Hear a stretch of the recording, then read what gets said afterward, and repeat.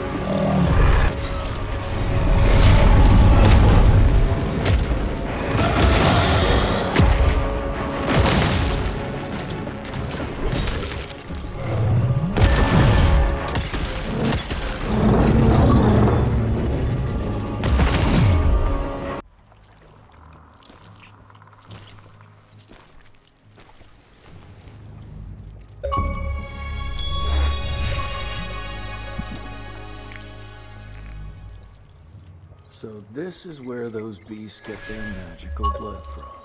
Once that ancient fella in Baxter was sucked dry, she found you, huh? Christ, I'm starting to hate mythology.